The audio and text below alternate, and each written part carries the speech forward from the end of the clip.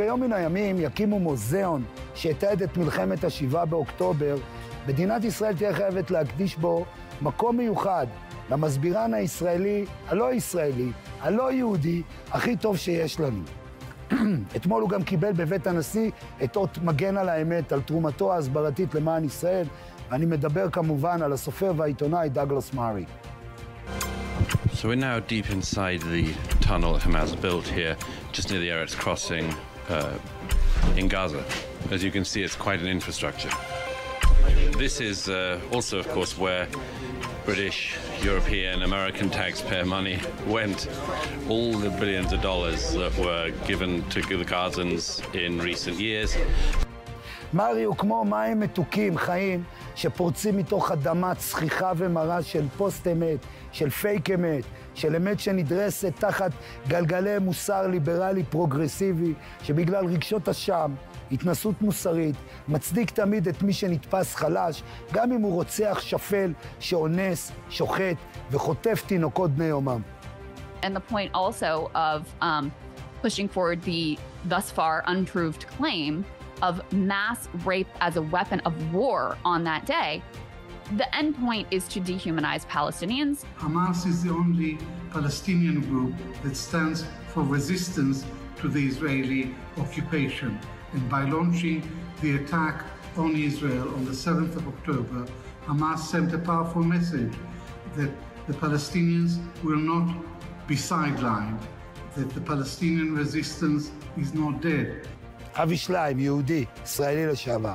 חסידי אומות עולם בזמן מלחמת העולם השנייה סיכנו את חייהם למען הצלת יהודים. מרי עושה דבר דומה, הוא מסכן את הקריירה שלו, את הפרנסה שלו, את המוניטין שלו, וכמו כיפת ברזל אינטלקטואלית ומוסרית, הוא מגן על כבודו של העם היהודי, כמו שאמרנו, הוא אפילו לא יהודי. Whither thou goest, I will go, and where thou lodgest, I will lodge. Thy people shall be my people, and thy God my God. I'll tell you this. They may come for the Zionists. Very well.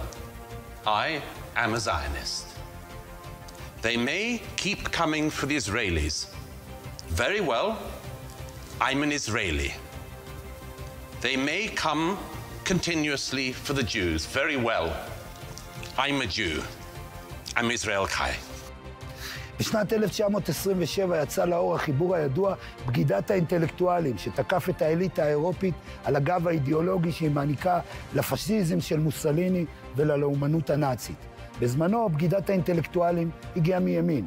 כיום בגידת האינטלקטואלים מגיעה משמאל, קסטות של פקידים ניידים שמעוניינים לכונן ממשלה עולמית, שתכליתה אחת, לפרק את הזהויות המסורתיות, את מוסד המשפחה, את מוסדות הדת ואת הזהות הלאומית, לרסיסי זהויות נזילות שמבוססות רק על יחסים של כוח.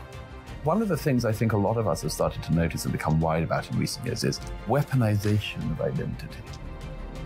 You're not talking about politics. You are only fighting a battle to win. I'm not up for equality and then pretend that men and women don't exist or that gender is just something you perform. בשנת 2017 פרסם מארי את רב המכר הגדול שלו, המוות המוזר של אירופה, שחיטט בלי הרדמה בכל העצבים החשופים של היבשת, ההגירה, עליית האסלאם, משבר הברקזיט ועוד. הספר עורר סנסציה עולמית. תקפו את מארי שהוא מעודד גזענות, שהוא חוטא בעליונות לבנה שהוא לאומן. מארי הפך לאישיות לא רצויה. מאז חלפו שבע שנים, ונראה שהמבקרים צריכים לאכול את הכובע, או במקרה של אירופה את הכאפיה. התחזיות של מארי מתגשמות אחת לאחת. היבשת שהתחילה את דרכה במהפכת הנאורות, בעליית המדע, ורדיפה אחרי חירות ושוויון, הפכה בעשורים האחרונים לאם פונדקאית של רעיונות אסלאמיסטים חשוכים, שמשתמשים בדמוקרטיה כדי לחסל את הדמוקרטיה. Wie, wie, welche, wie zum Beispiel, wie, wie, könnte, wie könnte man jetzt aus Deutschland einen islamischen Staat machen? Wie, wie, wie zum Beispiel?